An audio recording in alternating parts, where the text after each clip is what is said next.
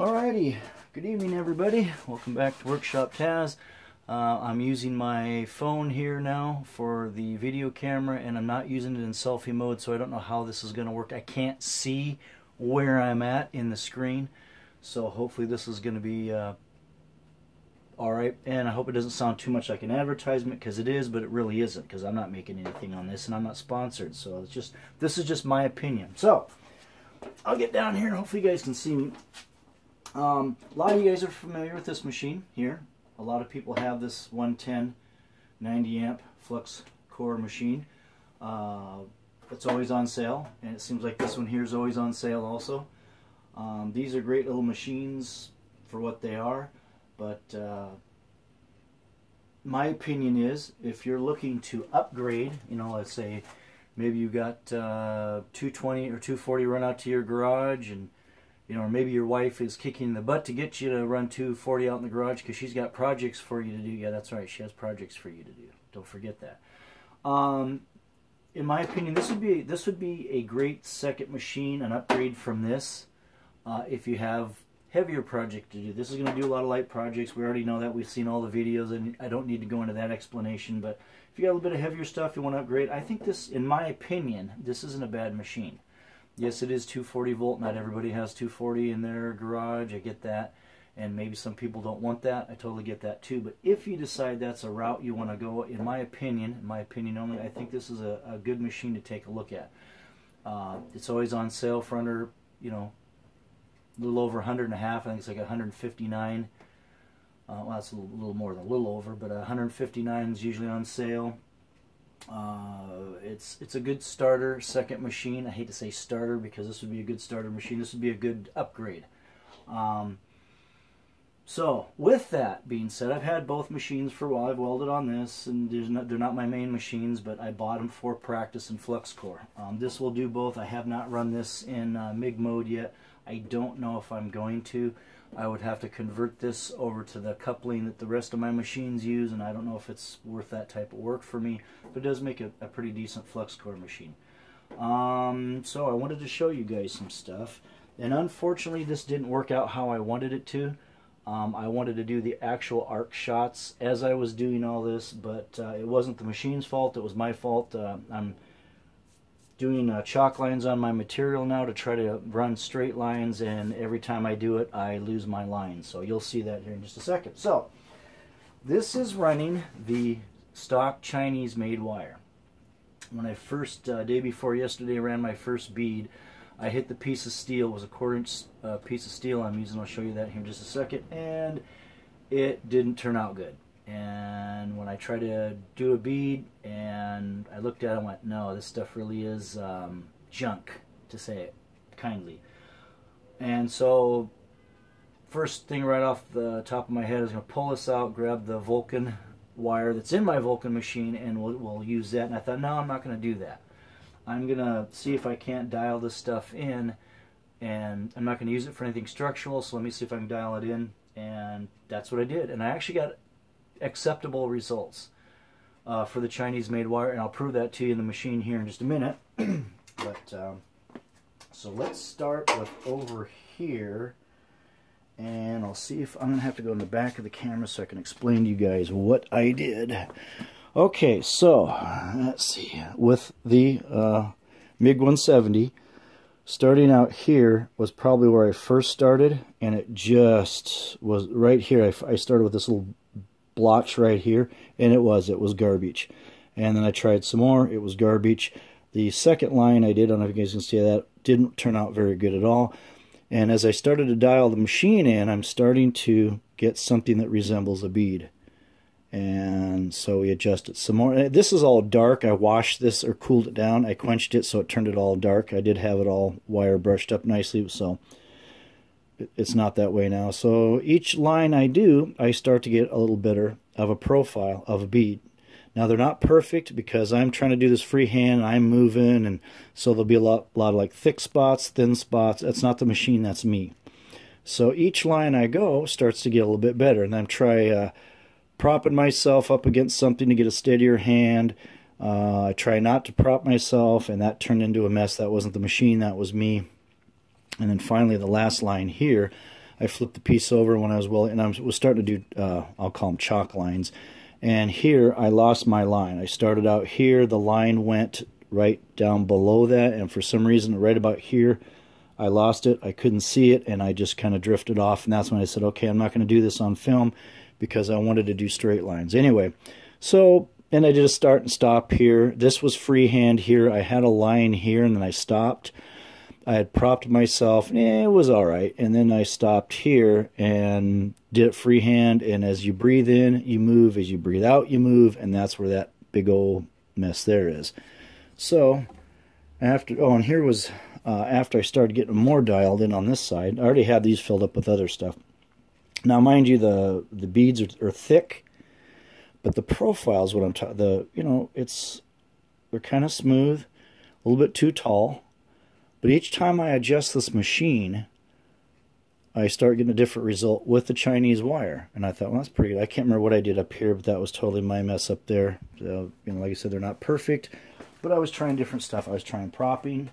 Uh, you know, I was trying uh, to lean up against the, the table and weld. And one of the things that I was was running into as I was running the stick here, uh, the gun, I kind of was leaning up against the table like this and it was doing good and something happened and I ran about here out of range. And then it's like okay now what do I do? Do I move my both arms and keep going? You know do I what do I do now? So that's where some of that stuff messed up. I just flat out ran out of range which was my fault. So I'm trying to figure out a comfortable way to prop that will be steady and all that good stuff. So um, up here this is the second piece yeah this was the second piece and this was probably changing speeds and doing weird stuff that didn't turn out good uh, this was where I was doing the most of the propping and not propping and trying to figure stuff out. But my point is, as you can see, the beads are getting better. They're not perfect. The squiggly part, you know, the, that's my fault. That's not the machine's fault. But this was the last one I did. And, you know, not bad. That's the Chinese wire.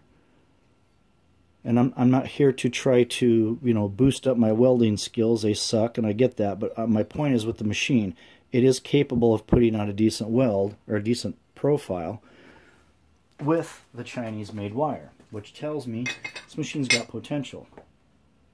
Some of you guys probably already know that. Um, I got to work on propping. I started uh, here recently of taking uh, some soapstone and making chalk lines, and now my problem is I can follow the chalk line up to a certain point, and then I lose it, and I don't understand that. That's a whole total different story. I'm to worry about that, but let me um, turn this puppy this way. And I'm to prop this up real quick and prove to you guys that I actually did use the Chinese wire. I'm not talking out of my backside here. So let me take this down here. And I've actually, I can't say I've used all of it, but I've used a good chunk of it. That's the wire that came with this machine. Um, is it great? No, it's not great. Does it work? Yeah, you know, it does what it's supposed to do. I'll get in some light here. And this is the last, you know, the profile is okay. Like I said, it's not perfect. The, the imperfections are me. It's not the machine. Excuse me. So I would say with some decent wire and some practice, it would be, I think it would be a decent machine. Um, my, my opinion. I'm just saying, you know, these are great little machine starters. If you want to upgrade, I think that's a, a neat thing, a neat machine to consider. Uh, the gun leaves a lot to be desired. Um, I use this quite a bit. I was running a lot of lines with it. The machine didn't give me any um, indications of running hot or anything. Matter of fact, it never even got lukewarm, and I ran it quite a bit. The gun, on the other hand, was starting to get pretty hot. Um, so that could be an issue. They do, uh, there's a place that makes replacement guns for these. Uh, if you decided to get one of these later on, you wanted to upgrade the machine, I think that would be a neat idea, and I will show you the company that does these little guys right here, if you can see that, HTP. See these guys right here? No, I'm not trying to advertise for them, but I'm telling you guys, if you decide to get one of those machines and later on upgrade the gun, these are the people that carry the gun. So, those are the peeps that carry the upgrade gun. Eventually, I think I'll wind up getting one. Um, obviously that 70 amp uh, MiG 170 isn't this, and it's not this, and it's not that down there, but it doesn't mean it's not a decent machine and you can you can do stuff with it. Um, what I'm going to do is once I use that Chinese wire all up, I'm going to use the Vulcan, the made in Italy stuff, and we'll run some more lines. What I want to do is find a way that I can prop myself better and try to get the machine, uh, get my welds better, and then uh, run a whole bunch to see what the machine does. That's just my opinion.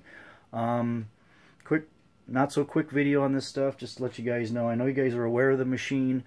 Um, a lot of people like the uh, the 90 amp. I think the one the 170 amp is something to consider.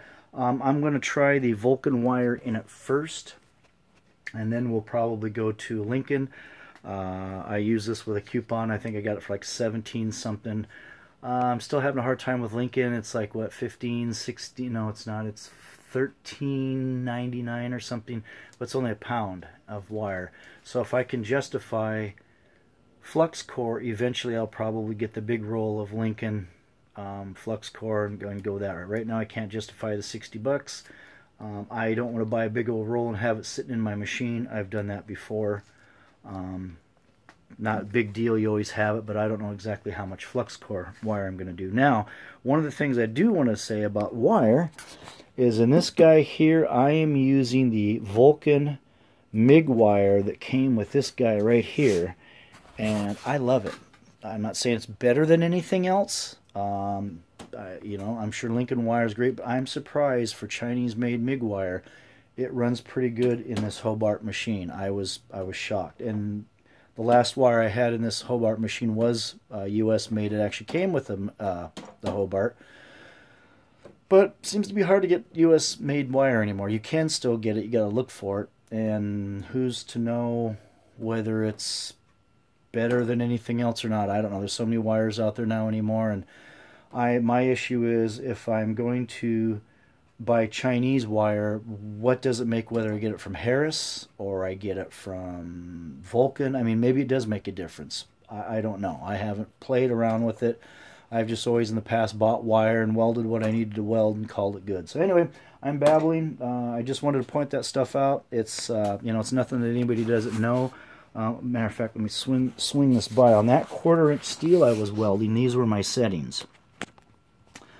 Okay, so about 6 to 6.30 seems to be okay. I did run it at 7 yesterday, and then I ran it at 8, and 8 was just pushing too much heat. It it worked, but uh, the wire speed was nice, but it was it was hot.